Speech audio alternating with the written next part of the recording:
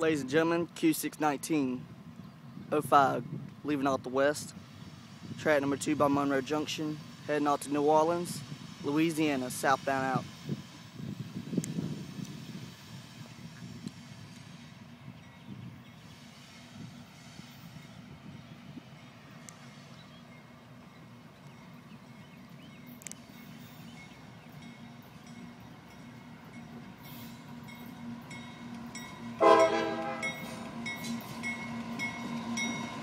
Lead engine 578.